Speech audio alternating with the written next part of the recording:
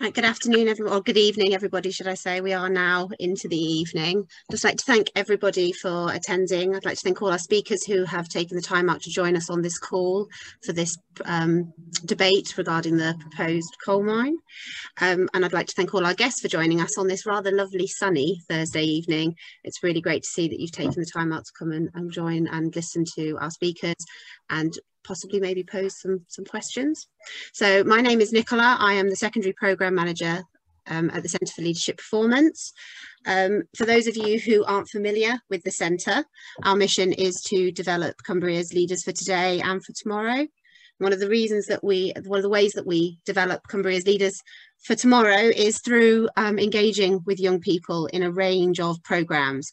Um, and my responsibility at the centre is to oversee um, a range of those young people's programmes, sort of secondary school all the way up to their early careers at the age of kind of 25, 26, when they become sort of young professionals. The way that we do that is by providing meaningful opportunities to engage with local businesses and employers.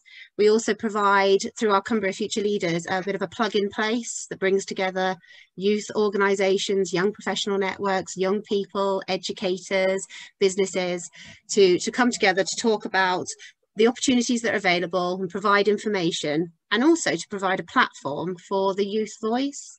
And that's really where this has come from today. Hello, yeah, my name's Andrew Bernard, but everyone calls me Bernie because I asked them to. Um, I've been involved with the Dream Placement, which was the kind of genesis of the Cumbria Future Leaders project from the very start, which has emerged into the kind of alumni legacy project, uh, Cumbria Future Leaders, which is about supporting young people across the whole county um, to develop their skills and their kind of ambitions and their future plans.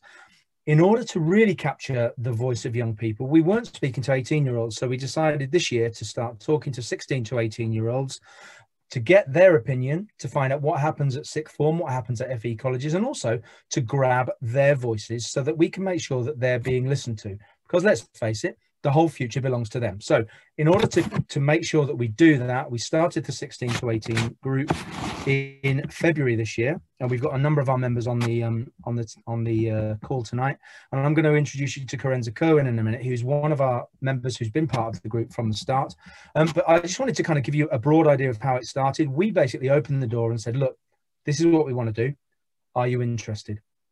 Meeting after we had about three meetings and then eventually we we coalesced around well the young people facilitated by us coalesced around three major major features. One local government's representation and the need to understand how local decisions are made. Campaigns and understanding how to ensure young voices can be heard and also um, more generally life skills and what kind of skills you're going to need in the future. Like someone said changing a tire and applying for a mortgage. So um, th- and this is the first one of those uh, discussions because obviously the coal mine is very topical. Um, it's a great discussion point. As chris was saying earlier i was on the radio talking about it this morning. Um, it's a very popular and very contentious issue. So the young people wanted to get their voice across. So without further ado, I'm going to hand over to Karenza, who's going to um, introduce um, herself and also from the young person's point of view, what her views are and, and what she's, what, why she's involved. Thanks, Karenza. Hi, everyone, and uh, welcome to the debate today um, on why uh, is the um, proposed coal mine board of bad Cumbria. Um, like we've, we're here today to hear from all our speakers and explaining whether they're for or against the plans, basically. Um, and then we want to hear from the young people in Cumbria, such as myself and the rest of the 16 to 18 group, um, and their ideas on the mine plans. Um, within the 16 to 18 group, we feel that younger people are generally not listened to as much um, when it comes to bigger decisions that affect our future. Um, that's why the debate is happening today, so our views and concerns can be heard and not dismissed as too often happens. Um, we, we are generally dis disregarded as the social media generation that gets their um, information from a lot of fake news and just random social media sites. Um, when in reality, most of our information comes from our teachers and our classrooms and conferences that we hear about and attend, and the world that we see unfold in front of our eyes every day. Um, we all have different views and opinions on different matters, and we all think differently about what should be happening. but we rarely get to air our opinions out in public because we get disregarded that much. Um, and Your Voice Thursday is a platform for us to air our views and ensure that they are heard in a safer environment than normal publicity. Um, we campaign to get this debate off the ground for that purpose, to educate ourselves and others, um, to listen to people's point of views and to um, voice our own opinions on stuff that matter to us. So that's kind of um, a brief description of the 16 to 18 group.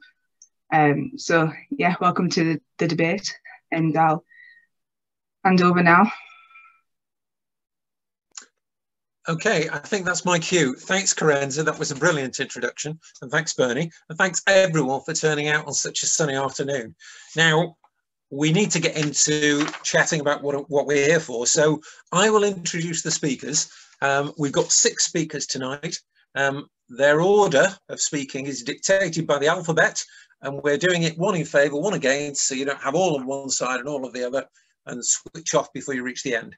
So the order in which they will be speaking, just a reminder to our speakers, is John Coughlin from TSP Engineering, Giles Archibald from Lib Dems, uh, he's a councillor and also an environmental activist, Trudy Harrison, MP for Copeland, Maggie Mason from South Lakes Against Climate Change, Mike Starkey, he's the elected Mayor of Copeland, and Rebecca Willis, Professor in Practice at Lancaster Environment Centre.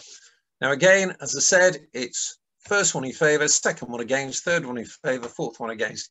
So it should be fairly, fairly straightforward. After they've spoken for up to three minutes, it won't be any more than that, then we will open up the debate. We'll start answering questions which people have submitted, and we'll really find out what young people think about this plan for a co uh, uh, coal mine in Copeland. So can I introduce John and ask you to, to start off the presentations, John? Thank you very much. Um, I'm going to argue in favour of the mine, and I'm just going to try and talk a little bit about why we need the mine, uh, what it does for our day-to-day lives, and, and the, necess the necessity it, it has in, in, in, the uses we have in Cumbria and also uh, in the UK and, and globally. You know, we need coal. Coal is important. It, it um, is used in the production of steel, which we need to support our day-to-day lives. It plays basically three roles in the production of steel. It's a reducing agent to turn pig iron into coke. Uh, it's a source of energy to break down the, the molecular, molecular bonds um, that, that are within the materials. And it's a source of carbon for the final production. Steel is an alloy of carbon and iron. Um, Nearly all steel globally is produced using uh, iron oxide and coking coal. Coking coal has special qualities that are needed in the blast furnace. And among the steel, um, an amount of steel is being produced, um, but there's currently no technologies to make steel at the scale um, using coal. We can use uh, blast furnaces, but it can only make small quantities of steel and not necessarily the amount of steel uh, we, we would require for our day-to-day lives. So most coal uh, or most steel is used um, producing iron ore. And you need three things uh, to make steel. It's a lot of heat, a way to uh, remove the oxygen uh, to turn the uh, iron ore into iron and carbon to turn the iron into steel. alternatively, hydrogen gas can be used as a, re a reducing agent, but unfortunately hydrogen gas is usually manufactured using fossil fuels. So it's not controlled um, in the same way um, as you will con control um, the coking coal that, that, you, that you will burn. There are alternatives such as electrolysis uh, of water, which again uses large uh, quantities of energy. Um, there's other ways of producing carbon um, in the final alloy, which people will argue that there is. But you know, a wood-based uh, process would also reduce the impacts of coal. But again, it's burning and it's taking something that's capturing our carbon uh, at the moment. Um, a recent breakthrough, breakthrough has seen tires used as an alternative to, as, as a carbon source. Um, but it's clear there are alternatives to coal for each of the three important, uh, there, there is um, no alternative really for the, for the three important roles that uh, coke plays in steel production. In our drive to promote green energy, um, we speak about wind uh, energy and nuclear energy, which are green energy sources. However, it has to be remembered that we need steel to assist us in producing the equipment to deliver these energy uh, propositions. Wind turbines, nuclear, SMR and AMR technologies that we're talking about as being green energies use steel in the construction um, to allow them to produce the green energies that we require for the future. Even to produce green energy, we need to produce steel in high, uh, high quality, of high quality and in high quantities. So we will need coal um, extracted under controlled environmental uh, methods, which will have low or neutral impact on our environment. The proposed mine in Copeland um, is underground, is undersea, which allows greater control than surface mining uh, and methods proposed, and, and the methods proposed to be used for extraction under the present mining solution planned in Copeland are environmentally leading technologies. Uh, by using, uh, by, by, producing um, coking coal, uh, we will be helping um, the environment and the impact on the environment by reducing the carbon footprint um, by not shipping materials halfway around the world. We will also have greater controls on the impact of the, the, um, the mining that will take place, which will be under UK regulatory controls. Um, we have no control over mining that takes part in other parts of the world and are not controlled in an environmentally way, environmental friendly way. And the, the modern mining technologies that will be used um, will help us to reduce the um, impact of the um, to, to, the to the environment. I argue that it's necessary um, and it is important that we carry on with this this mine. It will bring um, wealth, and it will bring control, and it will bring um, the necessary products that we need for our day-to-day -day lives to be able to carry on and, and exist. So I think it, I am in favour of the mine going ahead. Thank you, John. Um, that was uh, that was a good introduction. Um, it went a little bit longer than the uh, than the three minutes, so I'd ask people to try and keep to that if they can. But I understand uh, we've got statements to make, and um, I think we can be uh, a little bit um, uh, relaxed about uh, how long people take. But over to Councillor Archibald now, if you'd like to um, give us your statement, please. Yeah, thank you, Chris, and uh, welcome uh, everybody, and uh, thank you, John, for your comments. My job, uh, when I had one before I became a councillor and a council leader, um, was in the financial sector. And, and I had to assess risks and place financial value on these risks. Climate change poses a huge risk. Uh, it's, a, it's a huge risk both to property and to human life. And while I will try to give a value to this risk in a few minutes, it could be said that it is a risk with a potentially infinite cost because it jeopardizes human existence. We, we all know now, it's pretty well agreed, that human activity is warming the planet. If we continue to pump out greenhouse, gas, greenhouse gases uh, like carbon dioxide and, and, and methane uh, at the current rate, we will be creating enormous, enormous problems for future generations. It, it's pretty certain that unless we change our behavior and to change that behavior dramatically, millions of people will be flooded out of their homes. Fresh water will become scarce, as well as certain foods. Species will become extinct at an unprecedented rate. Weather systems will become even more extreme and violent, and we'll lose large parts of our coastline.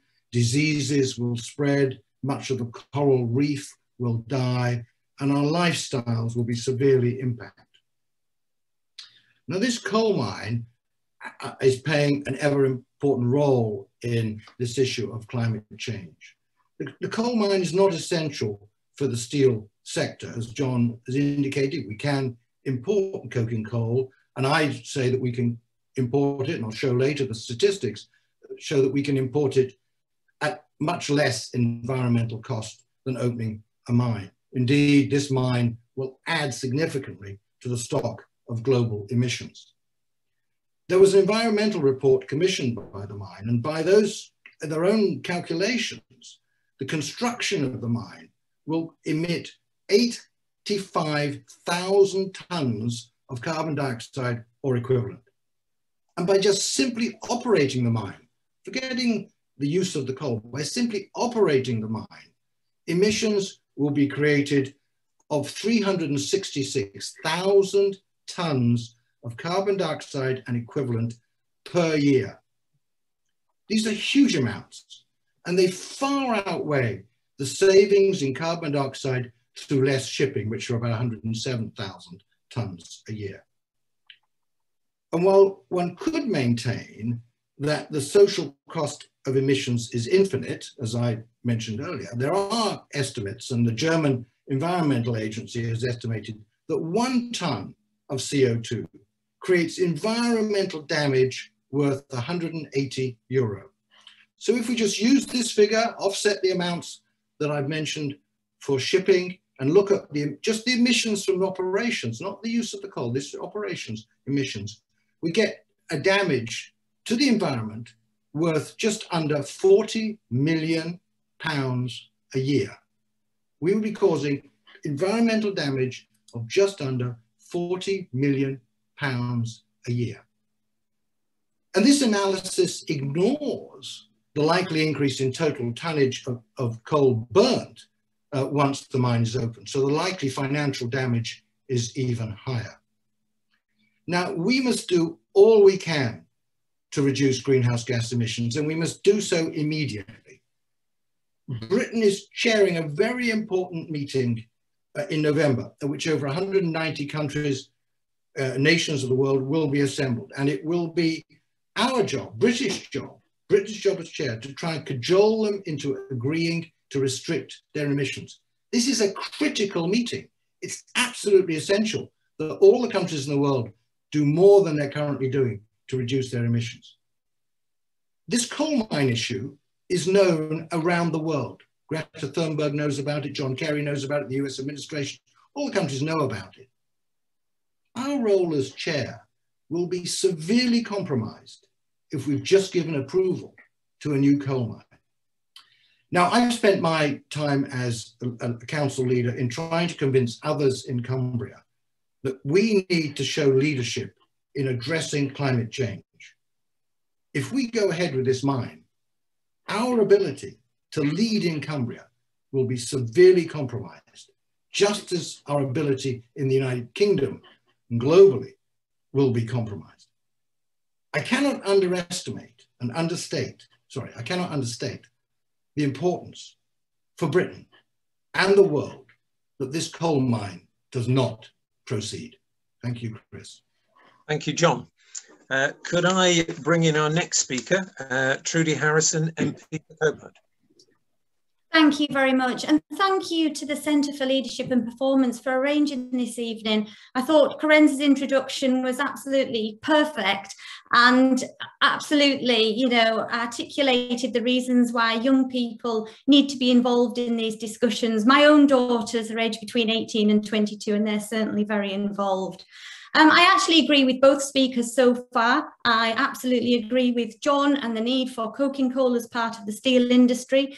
Electric arc furnaces are very good for burning the scrap steel knocking around in the country, but there's only about six or seven million tonnes of that. And if we want new steel, um, at the moment, the only commercially viable way is to use coking coal. And I would also say that the emissions that are really of concern are those that come from the blast furnace, the so-called scope three emissions from the steel industry process. West Cumbria Mining have already said that they will um, cover 85% of emissions through the measures that they're taking using green diesel, using sustainable methods, uh, tree planting, solar panels and various other measures. But this is the question, is this good or bad for Cumbria? This is a much bigger question. This is about the recognition that coking coal is one of 27 raw materials listed by the EU as being absolutely necessary.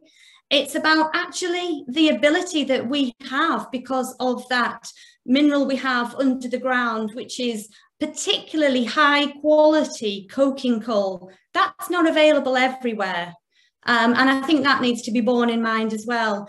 And it is about um, the acceptance of the steel industry um, growing 4.1%, um, is anticipated to grow by next year, and the reality of how much steel we actually use. We only produce about 65% of our steel in this country, we procure the rest. Um, around about 7.3 Tons are uh, made in the UK and about 62 million tonnes in the rest of Europe, which is why the coking coal, particularly high quality coking coal, extracted at West Cumbria Mining's Woodhouse Colliery, will be used both in the UK and also in Europe as well.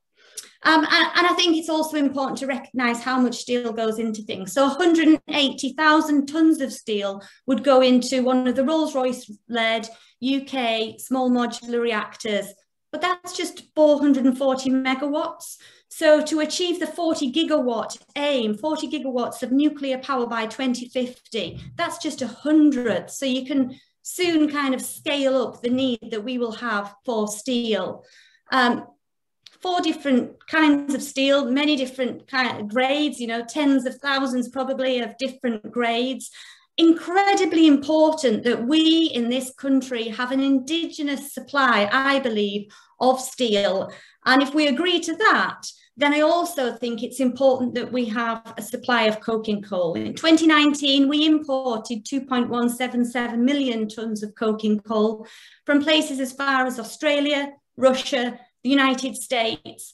And that was transported on fossil fueled ships and trains, which covered huge areas of land before arriving into the UK. Clearly, there's an economic uh, benefit to Cumbria in doing this and indeed to the country, with 500 jobs, 2,000 indirect jobs, 1.8 billion pound contribution to GDP in the first 10 years. There is an economic benefit, but I think more than that, there's an environmental benefit because the Prime Minister's 10 point plan, just about every single aspect of that needs steel.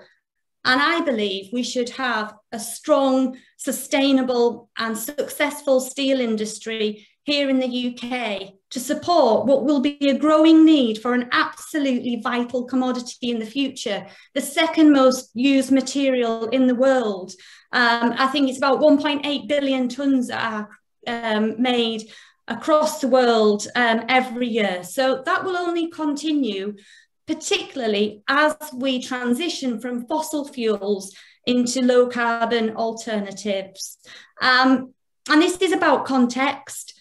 Um, it's, it would be easy to say we shouldn't have vehicles on the road because they're responsible for 1,800 deaths. It would be easy to say we shouldn't have wind turbines because they're responsible for killing tens of thousands of birds. But this is the reality of a commodity that's needed for the transition, of a vital part of creating that material. And as I say, electric arc furnaces will play their part. And I also think hydrogen will play a significant part. The Prime Minister is committed to five gigawatts by 2030, but the reality of that is, you know, about uh, a gigawatt will provide for a million homes. There's 23 million homes on the national gas network. So we probably need more like 115 gigawatts just for the national gas network. That's not to say that that's what we're doing, but it gives you some idea of context of how much hydrogen and other um, biogases will be needing in the future. Massive need for steel. Indigenous steel is what I want to see. We have the commodity in West Cumbria. We've got private investment, not government investment. And by and large, it's got overwhelming support from my constituents. Thank you, Trudy. That was uh, a very good, balanced argument. You made a lot of points there, which I'm sure people will be picking up on. Um, if we can go on to our next speaker, which is Maggie Mason.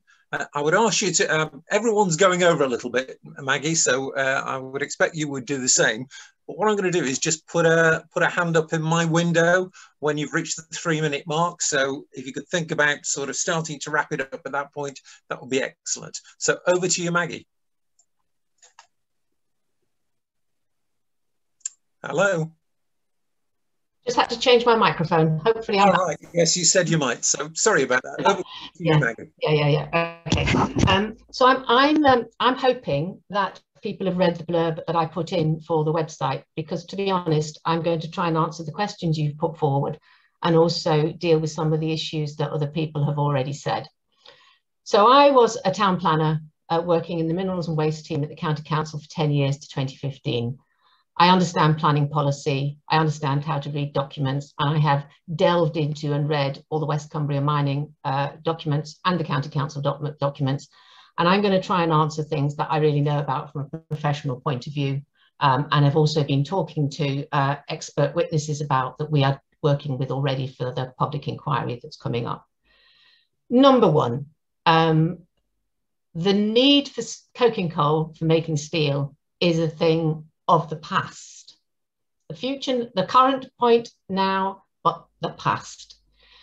Because 30 years ago or more, the government made a good plan to get rid of using coke in uh, ordinary thermal coal in power generation.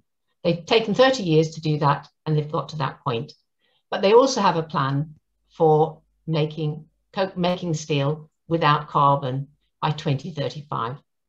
That has got to be largely without coking coal. It will be done, they have said, through using hydrogen, which is far more advanced than I'm afraid John knows, um, and is moving even faster in Europe than it is here.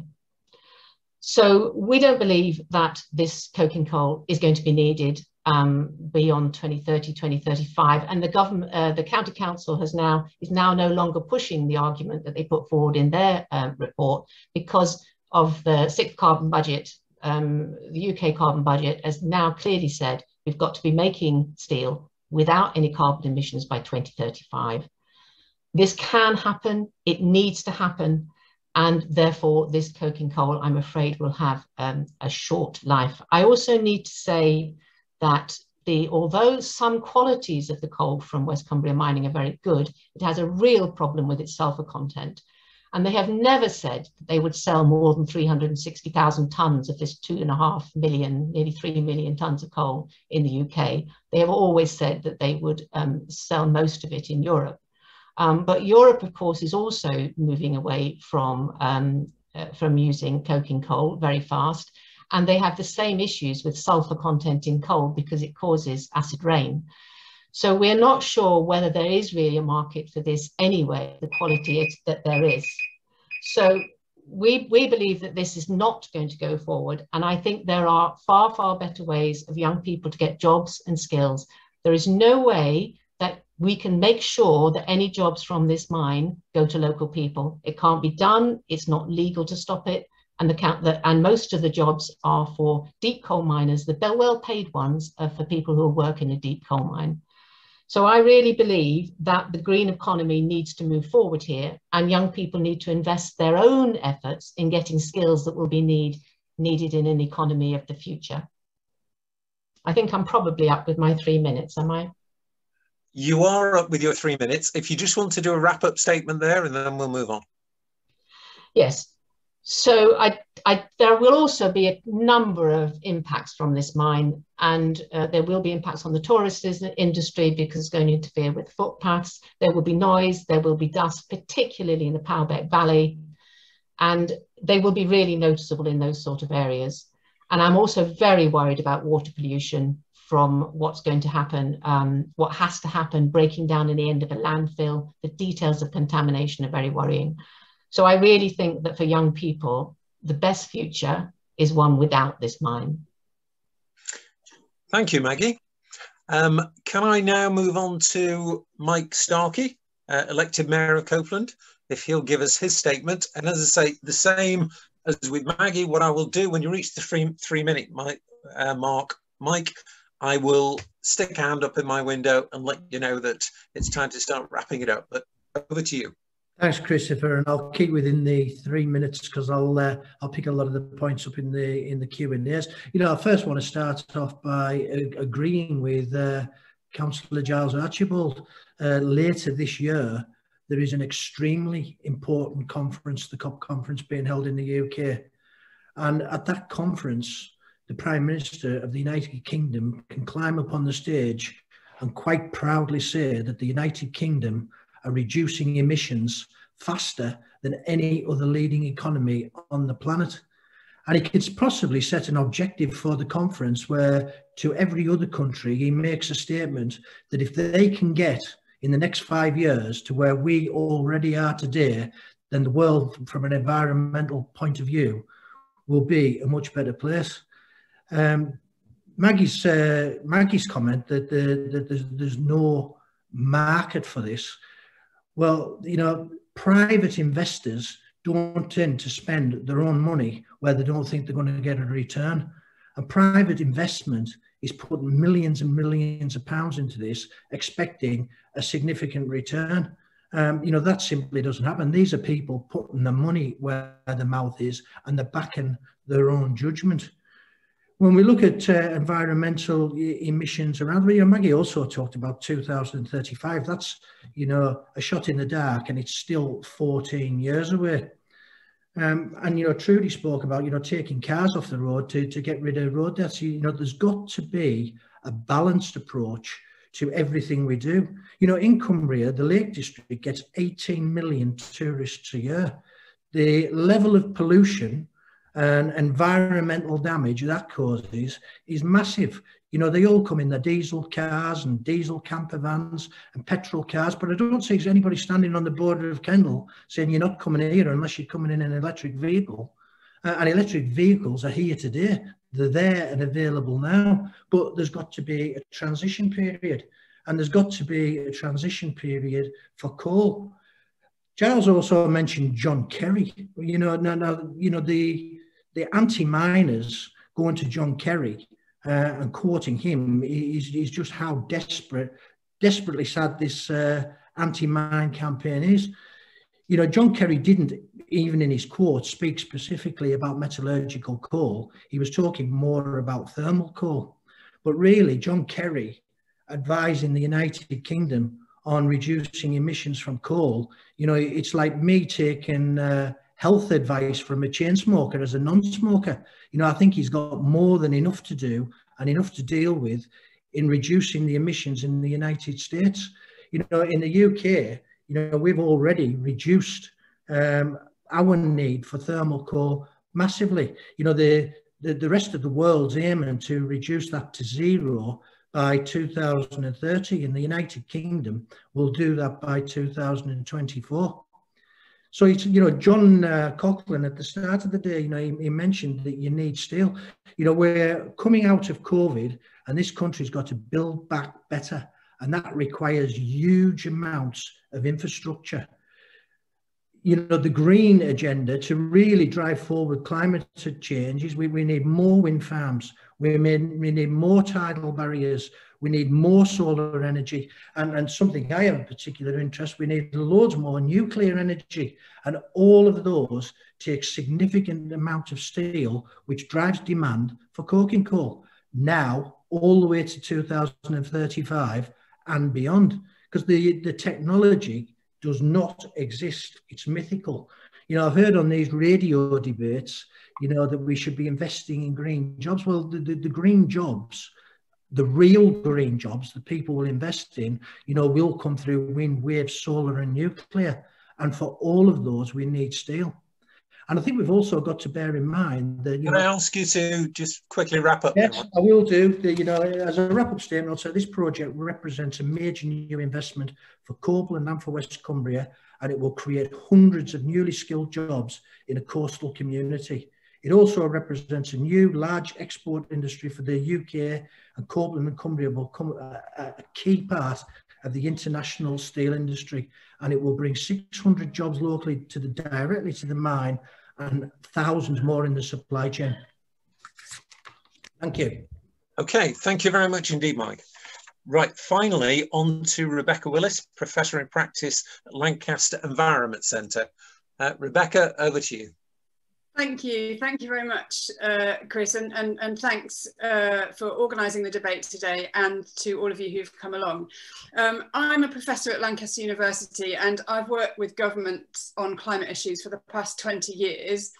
And my motivation for my work is this. I want to do all I can to avert the climate crisis that threatens our futures. And I don't have any other reason for speaking out on this mine.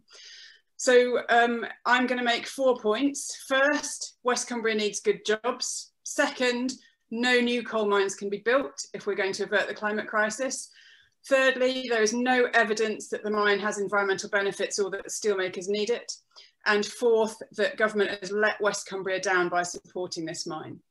And I'll go through each of those in turn, but at each stage, what I would say is you can argue either way, but where is the evidence for this?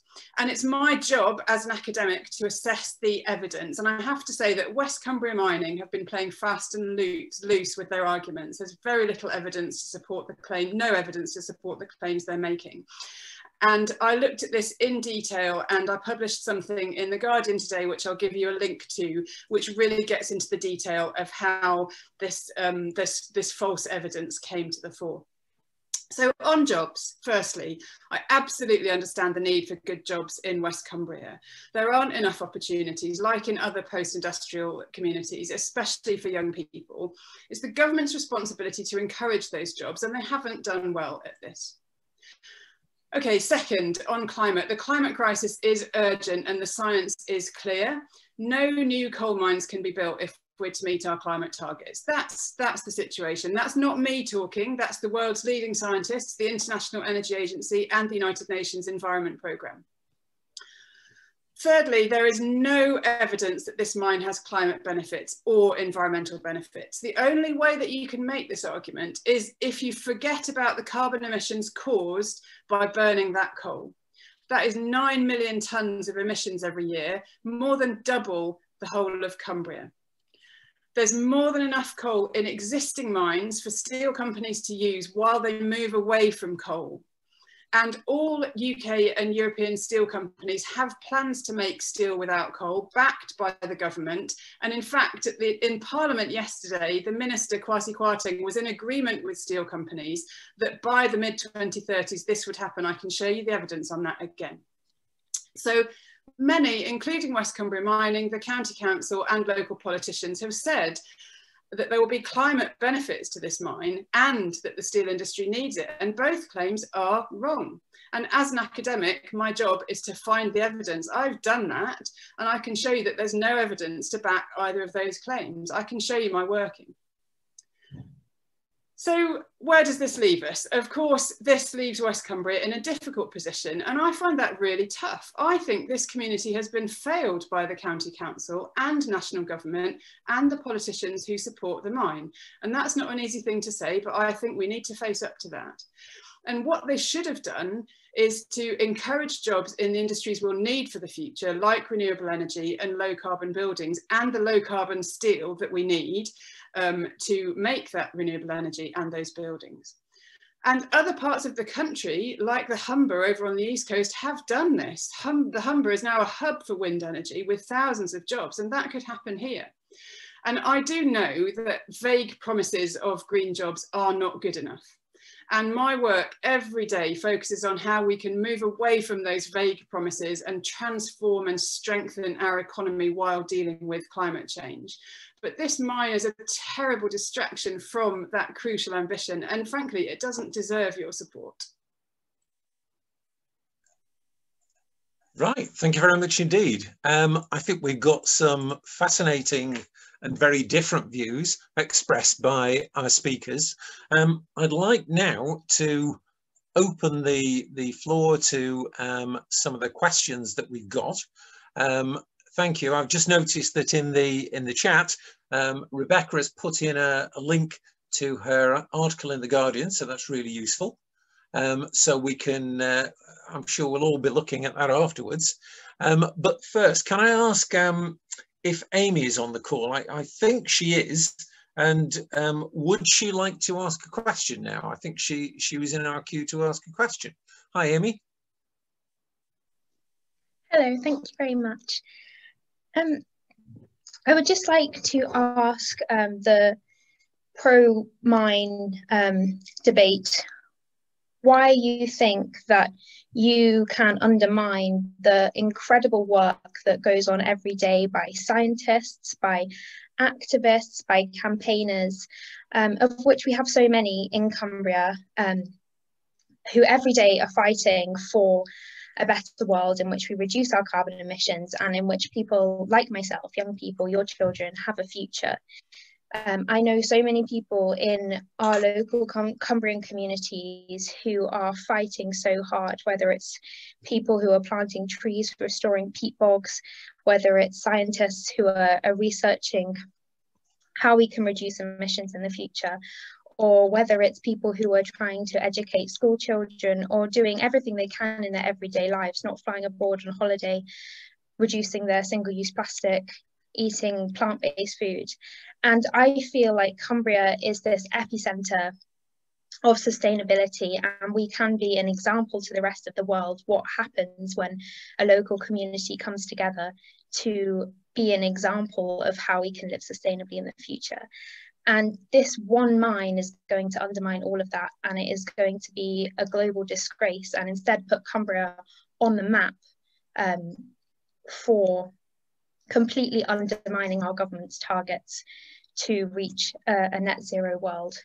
Um, so I wonder how you feel that um, you can justify this with creating the mine when we can create green jobs and when we need to decarbonise our economy. Thank you, Amy. Very good question. Could I ask our pro-mine panel, would someone like to volunteer to respond to Amy's question? How can you yeah. justify supporting the mine? Gone? Uh, I think we've got, we've got Trudy also uh, sort of queuing to do this. Um, John, do you want to do this as well? Can I start with Trudy, ladies first, and then I'll go to Mike and John. Trudy, over to you. Thank you, and thank you very much for the question, Amy. It, it is actually about the context that we imported over 2 million tonnes of coking coal. And to Rebecca's point, I'd be interested to know the um, specific volatility and type and whether it was metallurgical coal that you were referencing because importing coal that then needs to go through a process as part of the blast furnace is very very different to having um, the, the kind of coal um, that would be needed without that process. Also on the, sulf the uh, sulfur content I spoke to West Cumbria Mining about this, and they um, believe through geo-environmental investigations that it would be an average of 1.1, not the 1.4 that the planning um, document does state at the higher level. I know there is that uh, conflicting information about the sulfur content, but really to speak to your point, Amy, it's because all of those green jobs need steel and I just don't think it's right to be importing the coking coal. But also, I think we've managed to turn this organic matter, because uh, we're not banning mining. We hope to have lithium mines in this country. We'll still continue to mine for slate in the Lake District. So mining will still continue. Um, but I, I suppose it's the reality that this is needed for new steels and we can extract it in a way that maintains higher environmental standards, better worker standards, providing a benefit for Cumbria economically, and also making sure that we can control and transition from uh, fossil fuels to low carbon alternatives. But why is nobody talking about the emissions that are coming out of blast furnaces? Because that's the real problem. I think you should be lobbying for carbon capture on refineries and blast furnaces. We are investing in the research and development to do that, but I would like to do a lot more because that would make a huge difference. And also up in the um, amount of hydrogen that uh, we've committed to. Five gigawatts by 2030 is nowhere near enough. And there's a great opportunity for co-generation between nuclear and hydrogen, which is also what I'm advocating for. Every day of my working life, I'm trying to bring more nuclear to West Cumbria. Those are the kind of green jobs, highly paid, highly skilled. We have a track record over 70 years of doing this very well. And as we um, decommission as well, the work that we've done in using robotics and artificial intelligence is now being exported across the globe. And that's also perhaps not a green industry, but they're clean jobs for the generations uh, to come. Thank you, Trudy. Could I could I ask that I just use one speaker for this because we've got a lot of questions piling up in our uh, in our chat box. Just while I've got you, Trudy, we've had this question from a couple of people. You mentioned green diesel at the West Cumbria mine. What do you mean by green diesel? Essentially, with uh, less harmful gases than conventional diesel. But we can also look at hydrogen. We can look at biofuels. There are a range of different gases that can be used in all you know machinery that currently uses conventional diesel or even petrol at the moment. Okay thank you. Um, we've got clark on the line. Could i ask clark if you'd like to ask your question? Um, yes thank you. Um, just on the point about uh, the sulfur involved in the mine um, sort of a hypothetical question because uh, I note that um, the uh, planning officer sent an email to British Steel asking them for their opinion on the sulfur content in the mine and whether or not they would be able to use this coal uh, given its sulfur content. And they were, I would say, equivocal. They, they, they said they weren't sure. So hypothetically, if it were the case that most European and British um, coal, uh, steel production wasn't able to use the coal because it were it, had too high sulfur, sulfur content, would uh, the ProMine panelists still think it would be acceptable for that coal to instead be sold to uh, countries further away, say in Asia? Would they consider, given the fact that would have that would kind of that would negate the transport benefit, the, the, cutting of the transport benefits um, in relation to the coal, and therefore wouldn't have the benefit we're hoping for. Would they still um, consider that to be a good thing for Cumbria, or would they, and for and regards to climate change, or would they consider that not to be. Yeah. Can, can I briefly answer this and then I promise I won't ask, answer anymore?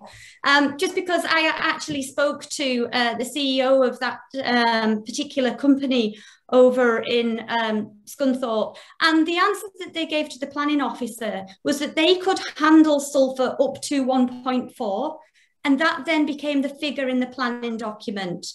That's how this came about. Um, and that is from the CEO and also from West Cumbria Mining themselves. Okay. But the average we expect to be 1.1. Uh, right. So I support support that because I'm a sister company to British Steel, and, and I can I confirm that um, Trudy is correct in what she said. Okay, thank you very much, John. Thank you very much, Trudy. Um, I think we've got. Um, can, I, can I just quickly correct? Can I just quickly say something, Chris? Yes, of course. The, the questioner uh, said that there would be shipping savings. I just want to be clear, those shipping savings are dwarfed by the carbon emissions by just operating the mine. I want to be absolutely clear about that. And th those are in the, the environmental reports commissioned by the mine itself. So when you talk about savings from shippings, there are there are no net savings from shippings it, when you take account of just the operation of the mine.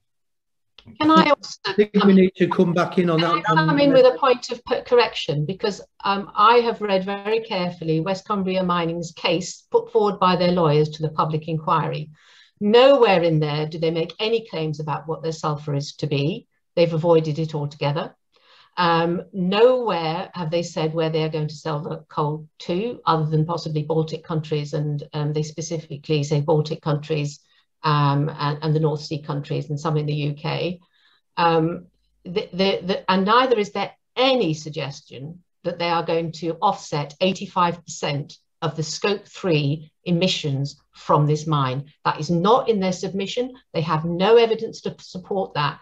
And I think it's very, very important that young people are able to go back and read. It's very simple document, really, that the West Cumbria's lawyers have put forward, claiming what they are claiming, and it is, doesn't fit with the things that I'm afraid the proponents of the mine are putting forward.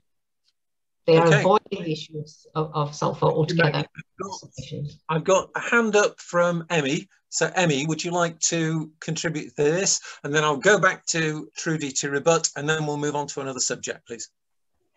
Yeah. Hi. Um, so one thing that I'm slightly confused about is, so the UK produces coal, but is this part of the existing supply chain that's um, in the steel supply chain, or is it all just coming from internationally? So if it is coming from international, why aren't we already using the existing domestic production of coal? So in other words, is does the UK currently have a supply, an indigenous yes, supply of coking coal? And we, so, we supply, no, that's what we supply, um, we produce 2.2 million tonnes in 2019. Is this part of the supply chain or are you only sourcing from internationally at present? And if so, why? There's, there's a slight difference between what you would um, look upon as domestic coal or coal that you would burn to produce heat. Um, this is a, a, coal, it's referred to as coking coal because it's got high elements of carbon. Um, and remember, um, I pointed out in, in, in my talk earlier on that we need carbon. And, and somebody said earlier on, we didn't need carbon to produce steel.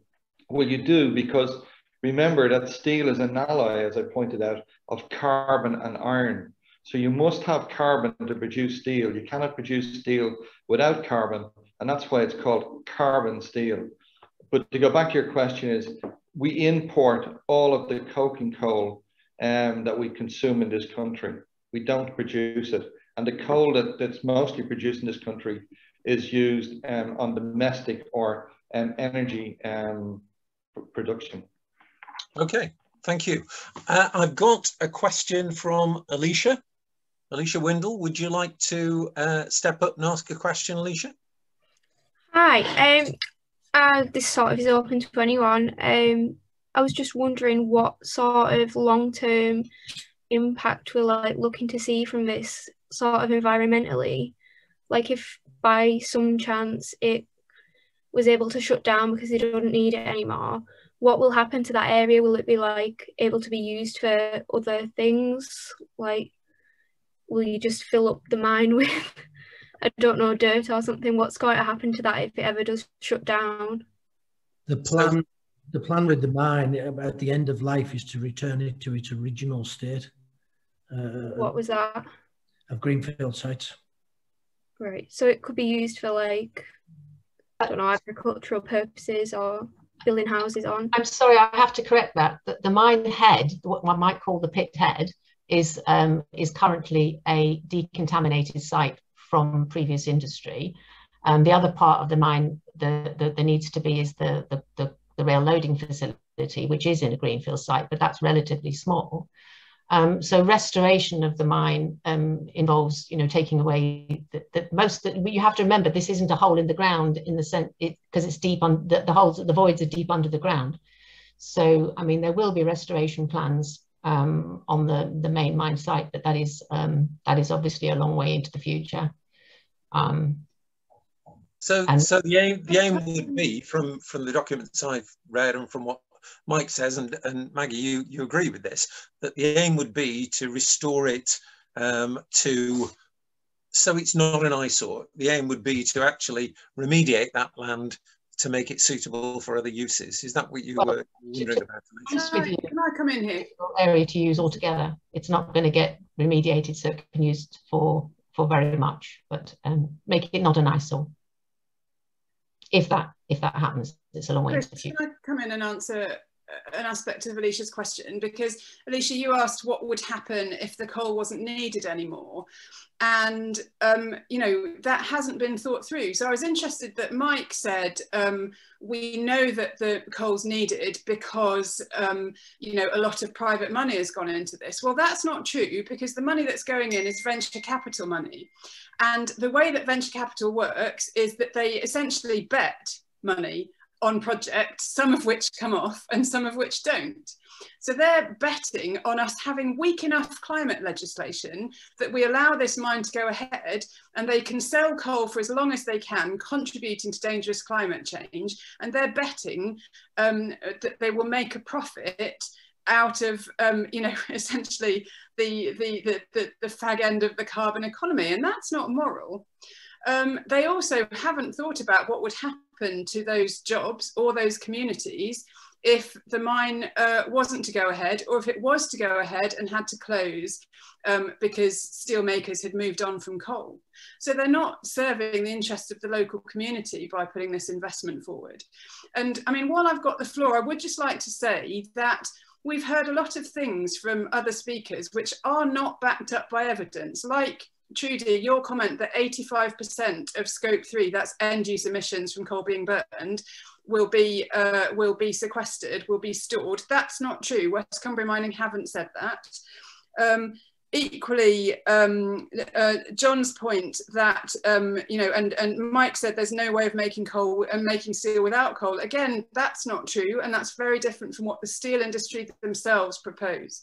So Can if I, I made those sorts of claims in my job, if I made those sorts of claims in my job, which were not backed up by evidence, I, you know, I would be outed for them. And I think that evidence point is really, really important. So I would ask, what's your evidence for those points? Can I just rebut on that one, Christopher? You, you, you know, we talk a lot about evidence, and there's a, a democratic process that you go through to uh, to get these decisions. Um, this has been before a planning panel on three occasions where all experts on all sides of the argument had every opportunity to make the case and argue the case. And an independent panel uh, from across the cross section of the community listened to the evidence of experts on both sides. And, you know, bear, bear in mind, you know, particularly with environmental issues, you know, the experts don't all agree. They all have different viewpoints. You know, Rebecca hasn't got uh, exclusive rights to uh, correct evidence. Um, so when it was presented to a cross section of the community on three separate occasions, this mine was unanimously approved. Can I wrap up that question there, please? Uh, could, I just, could, I, could, I, could I just point out something that's important? I did say that there was alternative methods of producing coal or producing steel other than using coking coal, but I also pointed out that many of those um, systems required other means of fossil fuels to be inputted. Uh, and I, I, also pointed out um, that using, uh, you could use um, tires.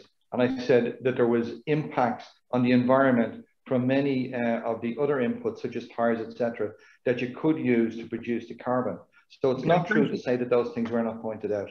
They Thank were you. pointed out, but were, we... we were told that they were also had major adverse impacts on the environment. Okay, can we leave that one behind and move on because we've got some other questions here. We'll go back to them at the end if we have time. Robin Spur, you've got a question for us. You've been asking that for a while. So would you like to step up and ask that question? Brilliant. Yeah, thank you. Um, I think we've heard like a rather a lot of figures around carbon and carbon equivalents, and I know these sort of things are hard, but I wondered if we had a more definitive answer in terms of whether life cycle assessments have been done on the mine and its processes versus shipping coal processed overseas. Because if coal plants like overseas are still like producing scope three emissions, there there still are emissions. So I just wondered if they put it, put forward a um, a side by side assessment. Okay, uh, can I ask first if there is one of the pro people who can answer that just in a minute, please, and then I'll let someone rebut from the anti-mine. So is there someone from the pro side who could who could take that on? So in other words, has there been a valid comparison between importing the coal and digging it up ourselves and using it ourselves?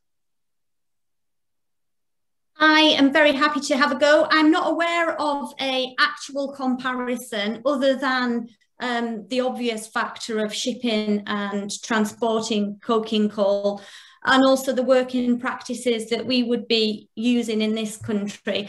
But I think you mentioned scope three emissions and just to be clear, the first kind of emissions are the extraction process. The next is the cleansing and transportation to the to the blast furnace. And then the third scope is at the blast furnace. I never said that scope three emissions would be covered off at 85%. It is the extraction process that I was talking about. We are way off, way, way, way off being in a position of being able to um, tackle the emissions at the blast furnace. And that's where the effort really needs to be, because that's where the real problem is, which is why I'm so keen on carbon capture and using the existing network in the North Sea and off Merseyside to use that uh, technology which the government is investing in. Okay, thank you, Trudy. Um, someone from the anti-mine side, just to uh, speak on that one? I mean, Giles or, or Rebecca, which which one would like to do it? We have expert evidence from Professor Paul Ekins, who is a resource economist, one of the country's leading resource economists. I'll put it in the chat. Uh, which said that this mine will be responsible for additional carbon emissions.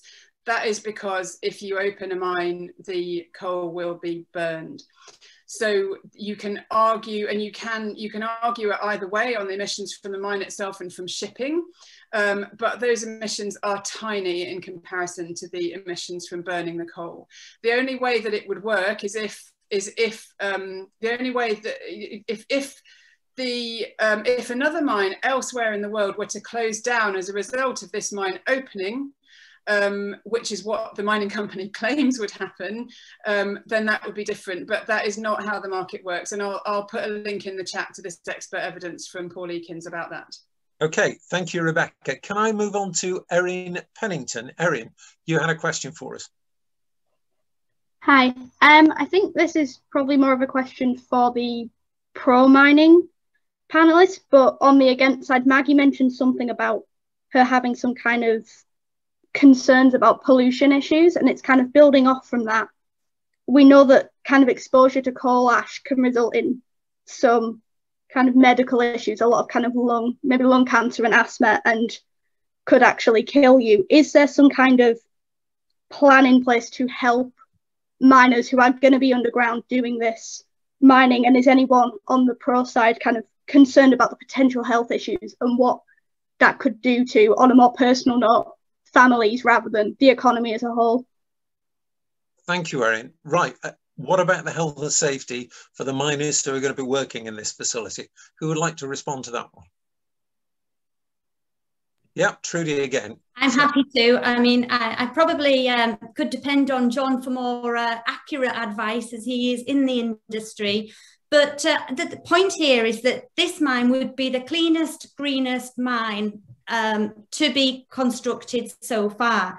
And as Mike Starkey, Copeland's mayor, explained, the planning process means that a huge amount of work is done with the Environment Agency and other what they call statutory consultees to actually understand how this would impact on people working in the mine. My granddad was a miner, but it was very, very different in those days. Um, machinery will be used a lot more than it was in the olden days. But compared to the rest of the world, our standards are far better. And that is another reason why I'm supportive of this mine, because if we all agree we need steel, we'll probably, if this doesn't happen, continue to import the coking coal, but we'll also continue to buy our steel from places like China or other parts of the world where the uh, the standards that people are working in aren't as good as ours in the UK. I think we can be very, very proud of the standards that we have and the way in which we protect our workforce um, in, in various industries, in every industry in the United Kingdom, and that will continue. I think to add on the health issues as well, you know, the, the, the miners who go into this mine are more likely to have a console and a pickaxe. You know, they'll be sat at a control desk um, operating machinery underground. Um, you know, they're not going to be crawling around on their hands and knees uh, as, as they were in uh, as, as we've seen historically with coal mines. Okay. Does anyone from the from the anti-mine side want to talk about the health issues before we move on? Well, my points are not about the health issues of the workers because that's not something I have a great deal of information about, and what Trudy and, and John say uh, um, is most probably true. Um, I'm more concerned about two kinds of things. One is the coal dust from the um, loading facility and the impact, the impact on that because I think there will be impacts on people who live locally. Coal Action Network has done a, um, put a lot of evidence in about um, mines in the northeast, and although they are open casts and this is deep, once you start trundling the coal down a conveyor belt and tipping it pretty well continuously all day into trains that are loading there, um, there will be coal dust impacts. And although as a planner, we used to have limits that we would impose, those limits are more related to what you get in the air quality in a city and in really bad places. So both noise and, and air quality will be significantly reduced roundabout. But I'm particularly concerned about the fact that we still don't have a plan for how West Cumbria mining is intending to get this sulfur content lower um, and what the adverse impacts of that have been because they've had to make several changes during the development of this of this uh, plan um, because they've hit up against environmental issues from the Environment Agency and they've had to change what they've done and that's one of the main reasons why there's been such a big delay because West Cumbria Mining had to change keep changing what they were doing. Now at the moment they're trying to say that although they previously were going to um, sell the worst polluting and the highest sulfur coal separately, they were then told they couldn't do that. So now they're trying to say they're going to mix it all in and turn it into this lower carbon, um, lower sulfur content coal that um, that that uh, that uh, Trudy has spoken about. Now they have not submitted any information about how they were going to do that. What they've got to do is what crush and wash a lot of the sulfur off the coal and that I has impact. Getting some way away from the original question well, on this. It's about the pollution because Minus. there's significant water. I'll, I'll wind it into this then because it produces mine, um, sulfuric acid or it explodes if the, if the dust is too fine. None of those issues have been looked at. And you've also already got a site where the aquifers, the water supply of local people is being affected by the past contamination from the site. And it's all got to be opened up it's got to be done incredibly well not to make the contamination worse. And the new processors on the site have not yet been examined in the environmental impact assessment. Okay. So I'm can worried I, about. Can I just stop it there because I think we we covered that off. Erin, did that answer your questions? Uh, yes, thank you. Thank you. Um, I think we had Emmy with a hand up and Karenza with a hand up. Karenza's got hers up at the moment. So would you like to ask your question? Then I'll go to Emmy.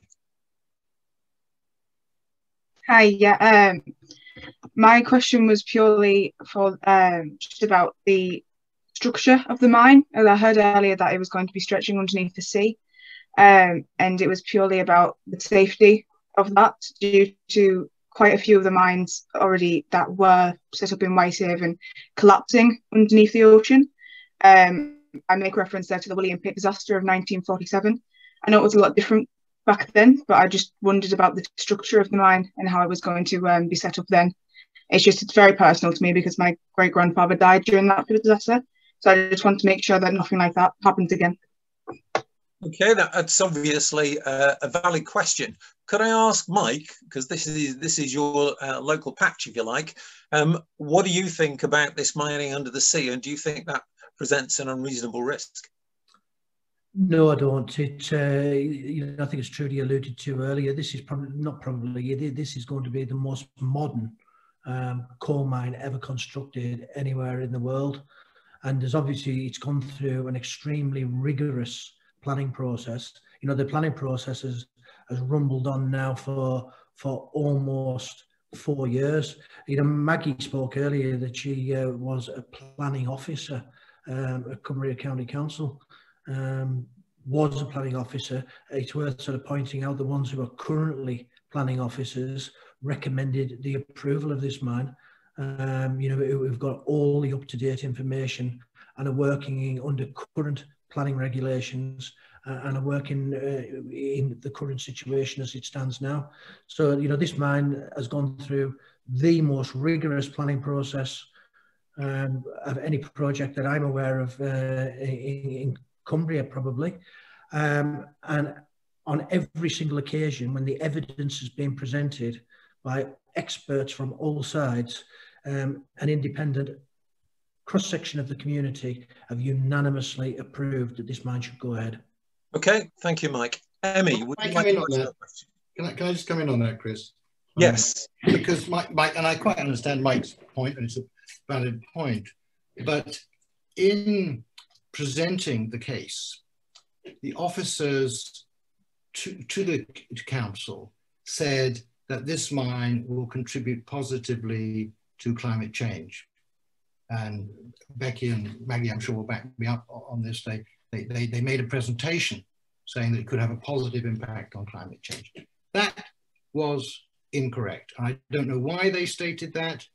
Uh, I think it's probably because they weren't fully aware of all the implications, but they stated it and it was erroneous. And it was shown to be erroneous by the Climate Change Committee, which is a committee of experts commissioned by the government to advise them on climate change issues. And, then there was a letter written by that committee to uh, the Secretary of State in January saying this mine will add to the uh, net uh, emissions globally and will have a deleterious effect on climate change. And I believe, Mike, and it, it, I mean, it's a matter for discussion, obviously, but I believe that the committee was misled by the officers and took their decisions on basis of information that has been shown to be incorrect. And this, this invalidates, I think, I'm afraid, your comment that this was a reasoned uh, consideration by the committee. Okay, can I? You're suggesting they were misled at the first planning meeting when it was unanimously approved, or the second planning meeting when it was unanimously approved, or the third planning meeting, or are you suggesting they were misled at all three? I think you've made the point there, Mike. Giles, I think you've made your point as well. Can I move on to Emmy, who's been waiting and being very patient? So, Emmy, would you like to pose your question?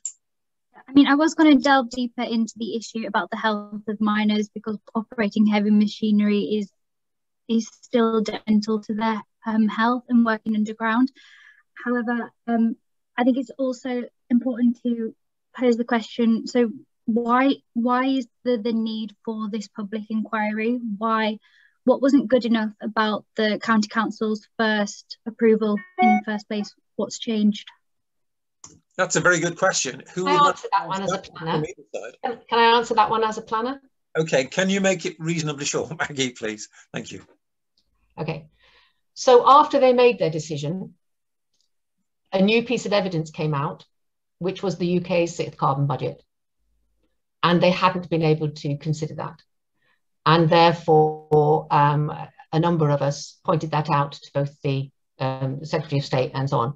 Now, that, that is one of the reasons why the Cumbria County Council isn't defending its decision anymore. It is neutral on the next stage because whereas their reports had said to them, there will be a need for this coal till 2049 unless something changes, they realised the sixth carbon budget had changed something and therefore it needed to be looked at again. Okay. Come back in. The sixth carbon, carbon budget is just advisory. Um, and it, you know it's gone to a planning inquiry because that's the process it follows because the leadership of Cumbria County Council decided to call back in to the planning panel, which had already approved it three times. Unfortunately, the leader of the Cumbria County, County Council is anti-mine. And, you know, as it goes to the public inquiry, the, the county council have took a neutral position, which is quite a remarkable thing to do when the democratic decision of the council was to approve the mine, but only three three councillors, none of whom are on the planning committee, have, have been involved in the decision to take a neutral stance for the county council. The normal position would be to revert to support the last decision uh, that the democratically elected members had made. I think we're getting into procedure there. Does that answer your question, Emmy, or does it show, shed some light on it? Yeah, I think it shed some light. Thank you. Thank you. Um, Trudy, did you wish to make a point there? Yeah, it was just to, to, make a point that in the letter from Robert Jenrick, the Secretary of State for the Ministry of Homes uh, and Communities and Local Government, he also stated that non-determination, the fact that Cumbria County Council hadn't been able to um, move on after the Planning Committee had made their decision, as you've heard three times, um, they failed to provide the permits to West Cumbria Mining. And so the Secretary of State also in his letter said that part of the reason for asking somebody independent, which is the Planning Inspectorate, not political, because Cumbria County Council is obviously it's political, it's, it's led by Labour with Lib Dem support.